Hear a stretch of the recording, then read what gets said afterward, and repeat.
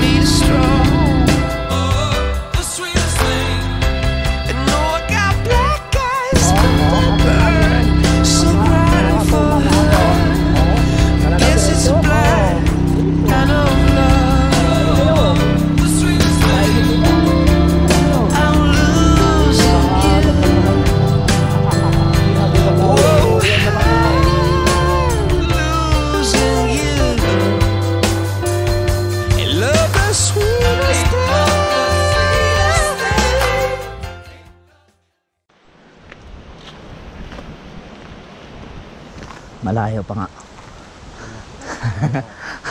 o, dyan lang.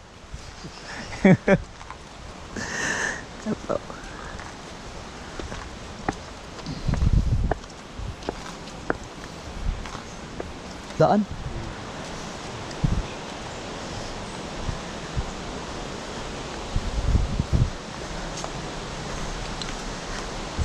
Teka. Ay, na umot, dapat imprasan nyo ra.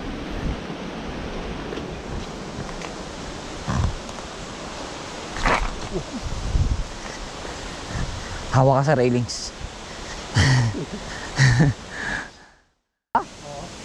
ah, doon lang kayo nag naghihintay ng pasayro? Oo, doon. Alaminos yun.